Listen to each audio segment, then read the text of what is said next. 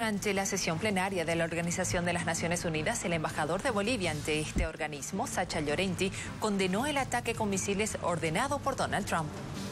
Mientras los miembros permanentes y los miembros no permanentes planteábamos propuestas para el texto de esa resolución, Estados Unidos preparaba a su vez un, y ejecutaba un ataque unilateral.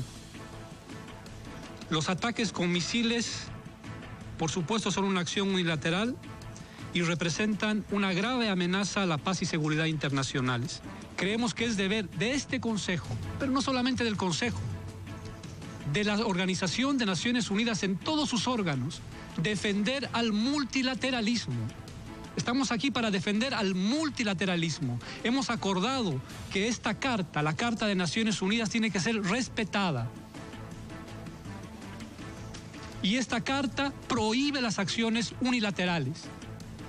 Estados Unidos no solamente ataca unilateralmente, sino que cuando todos estábamos aquí discutiendo y exigiendo la necesidad de una investigación independiente, imparcial, completa y concluyente de esos ataques, Estados Unidos se convierte en el investigador, se convierte en el fiscal, se convierte en el juez y se convierte en el verdugo.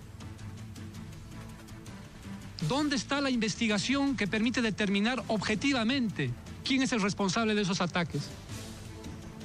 Esa es una violación gravísima, gravísima al derecho internacional.